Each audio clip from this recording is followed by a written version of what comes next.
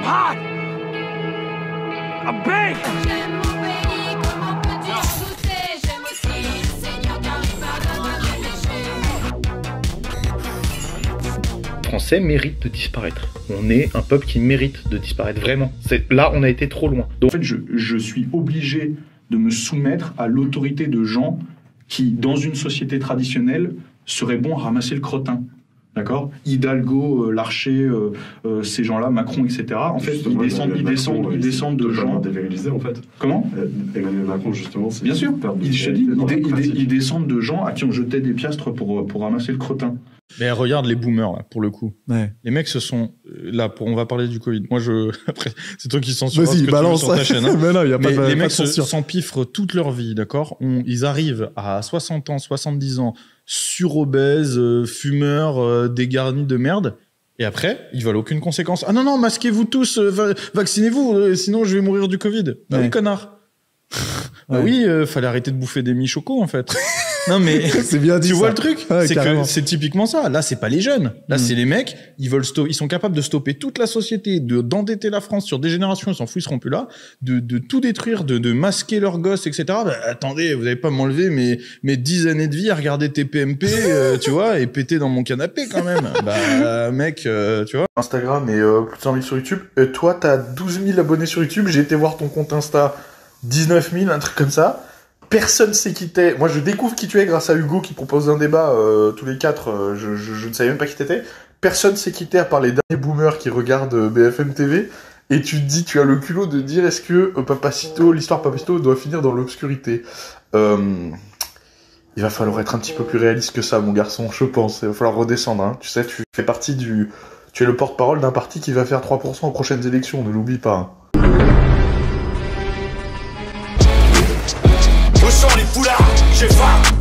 Le gueux. Les les saucisses sont les les pâtés de Ces m'ont mis en Les mecs qui disent américanoïdes, en fait, c'est euh, c'est les mecs de qui sont soi-disant de notre bord, qui font 30 kilos, qui ont aucune culture et qui sont des frustrés euh, de la vie euh, totale.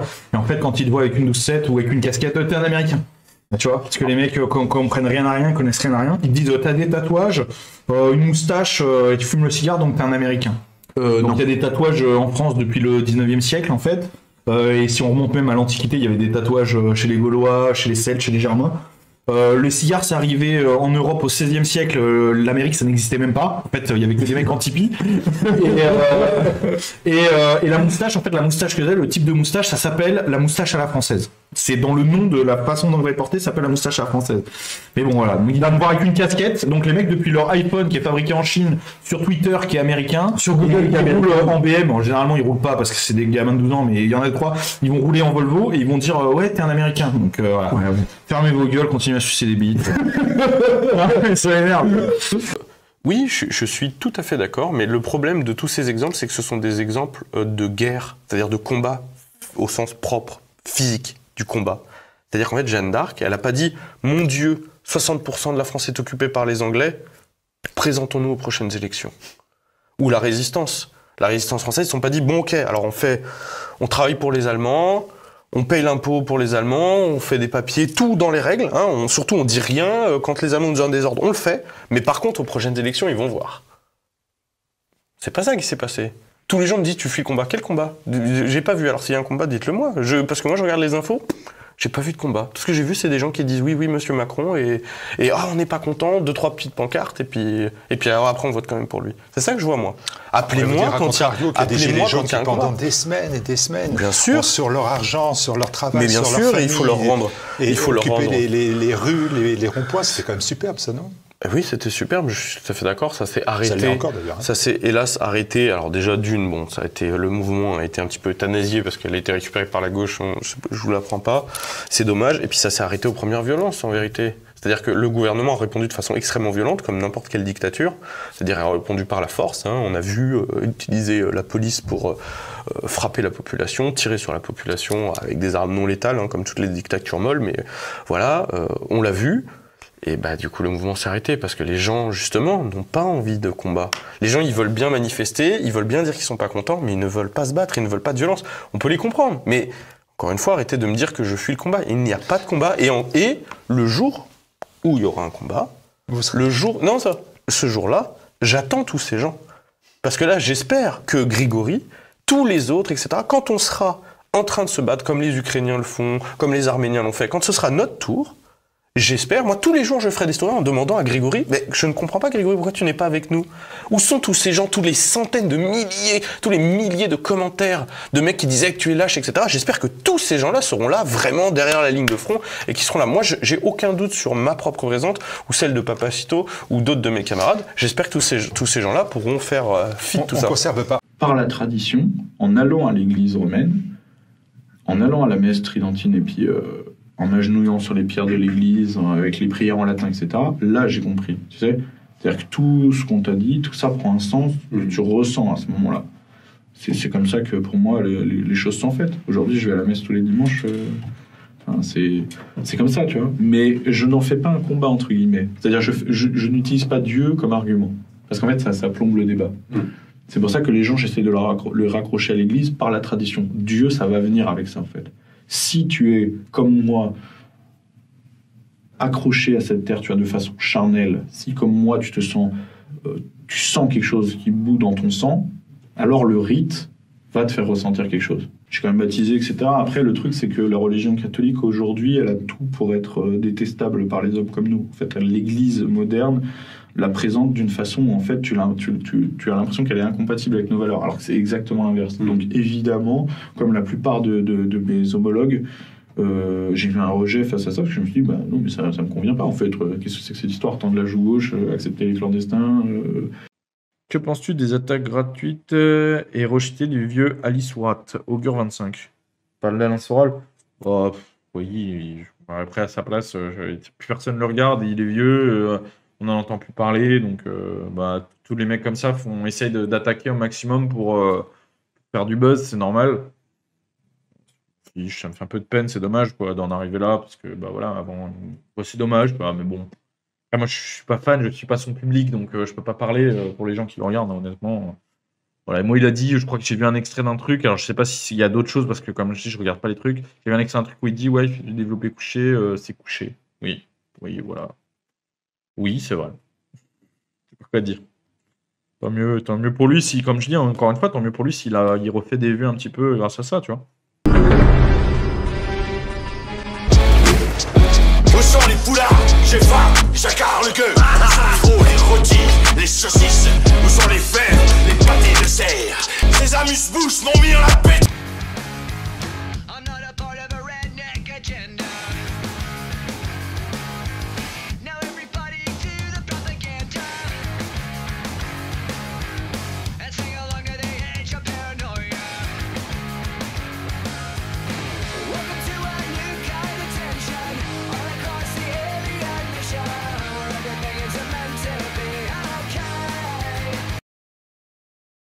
mais c'est insupportable. Et en fait, là, c'est de- des deux côtés, tu vois. Euh, je fais la queue tous les jours dans des magasins derrière des gens qui me détestent et que je déteste, et on fait la queue comme si de rien n'était. Mais qui peut accepter ça? Qui peut accepter ça? En fait, euh, quand, quand tu as un tant soit un peu de sens de la liberté, de, de, euh, de vérité, mais en fait, tu souffres. Moi, je souffre. Un mec comme moi, Hugo, mais on souffre tous les jours. Moi, en fait, rouler aux limitations de vitesse, c'est déjà une humiliation, en fait. C'est vrai que les gens comprennent pas. Là, il y a plein de gens qui vont rire de ce que je viens de te dire, parce qu'en fait, ils comprennent pas. Mais en a fait, tous les jours, oui, bien sûr, mais alors c'est ça justement, il ne va pas confondre. L'autorité est garante des libertés, c'est tout. Sinon, ça ne, ça ne m'intéresse pas. Euh, si c'est juste, euh, si, si, si là je t'oblige en te disant, écoute, euh, à partir de maintenant tu marches à cloche-pied parce que c'est moi qui l'ai décidé, Mm. tu vas pas dire ouais c'est bien, il y a de l'ordre ici. Non. Bah, c'est exactement dans la société dans laquelle on vit. En fait, aujourd'hui, c'est humiliant. C'est pas éducatif, c'est pas euh, pour ma sécurité, etc. C'est humiliant. Tous les jours, j'ai l'impression de me prendre une petite claque. Chaque fois que je rentre dans un, un magasin et que je dois mettre un masque, c'est une humiliation pour Bien moi. sûr. Je m'humilie. Chaque fois que je suis sur une route, il y a quatre voies et je dois rouler à 90 alors que je suis pressé, tu vois, c'est je m'humilie. Chaque fois que je passe au péage et que je paye euh, 30 balles pour, euh, sur une route alors que ça devait être gratuit depuis des années et que la route, il y a des nids de poules où j'encule ma voiture, je m'humilie. Chaque fois que je fais ma déclaration d'impôt et qu'en fait, le fruit de mon travail, tu vois, je l'ai arraché, qu'on m'a rien donné, je dois le donner à des gens qui vont donner des associations LGBT, etc., je m'humilie. Je viens de tomber sur le cas euh, Gaëtan Matisse, là, je vois ça sur les réseaux. En fait, euh, il commence à y avoir un sérieux problème là. C'est plus possible que tous les jours, il y ait des fils de pute qui viennent nous cracher à la gueule, cracher sur la gueule de nos morts, de notre pays, etc. et qu'on dise de rien là. En fait, les mecs se croient tout permis. Euh, tous les jours, je vois des Yacine Bellatar s'afficher à la télé. En fait, il y a un moment, va falloir que qu'on se rencontre, d'accord? Va falloir qu'on qu'on discute sérieusement. Euh, pa- parce que c'est pas possible. Là. Le mec a le physique d'Isno Good. Il vient, il crache euh, sur la gueule des mecs qui se sont fait éclater au Bataclan. Gaëtan Matisse, pareil. Le mec vient faire des blagues et nous expliquer qu'il aimerait qu'on on ait été euh, euh, à la place de ces mecs-là. Mais, mais viens nous le dire en face, Gaëtan. Mais Gaëtan, je t'en prie, Gaëtan. Moi, je, je leur demande à ces gens-là, si vous les connaissez, etc., transmettez-leur. Gaëtan, je serais ravi, ravi que tu viennes m'expliquer que, que, que tu aurais préféré que je sois au Bataclan. Je, je serais ravi. Bellatar, là, c'est pareil, l'autre énorme loukoum dégueulasse. Viens, viens discuter sur un. Donc, euh, c'est foutu. Les Français ne méritent pas d'être sauvés. Il faut arrêter de appeler les vrais à partir, tout simplement, à quitter ce pays. Ou, pour ceux qui ne peuvent pas, parce que hélas, évidemment, tout le monde n'a pas de solution de repli, partez à la campagne, essayez de vivre un maximum en autarcie, coupez-vous de ce monde complètement et n'y participez plus, de- aucunement. Et vous, parce que des, vé- des événements arriveront, hein, euh, forcément, dans le futur. Euh, à ce moment-là, euh, moi, je serai présent, ça j'en suis sûr et certain. Certains peuvent en douter, mais je m'en bats les couilles, moi je serai présent. Euh, c'est les gens comme moi et une partie d'entre vous hein, qui, euh, qui faisons des choses euh, pour, euh, pour les autres euh, incapables. Les Français méritent de disparaître. On est un peuple qui mérite de disparaître, vraiment. C'est Là, on a été trop loin. Donc, vous expliquer. Donc le, mé- la- le, la- le- le- généralement on prend le revenu médian. Médian, c'est-à-dire qu'en fait on va enlever les extrêmes, on va couper les bords, on va garder le milieu, on va faire une moyenne de- des revenus les plus représentés. Je crois pas que l'euthanasie euh, soit une bonne solution. Et en fait, c'est toujours pareil. Alors là, là, je vais dire quelque chose qui est sûrement pas catholique, tu vois. Mais c'est un petit peu en mode euh, tuez-moi parce que j'ai pas le courage de le faire, tu sais. C'est aussi ça. hein. C'est qu'en fait, il y a beaucoup de gens qui demandent l'euthanasie, mais qui pourraient euh, se trancher les veines ou se jeter par la fenêtre ou, tu sais, le faire tout seul, tu vois. Mais euh, euh, ça, ça demande un peu de cran, tu vois. Donc c'est plus facile que quelqu'un appuie sur le bouton, tu vois. Je pense qu'il y a une part de ça. C'est installé devant la porte de la cathédrale, mais vraiment quand je dis devant la porte, c'est à moins de 2 mètres. L'enceinte tournée vers l'entrée. Et il jongle, je sais pas ce qu'il fait, il a sa musique à fond qui, gêne tout le monde. Donc je, demande à l'agent de sécurité qui est en place euh, s'il compte faire quelque chose. Apparemment non. Donc je vais voir le type, je lui dis écoute c'est un lieu saint, euh, euh, ça, ça gêne tout le monde, donc euh, là maintenant tu t'en vas. Alors je peux lui dis ça en anglais hein, parce que je parle pas espagnol.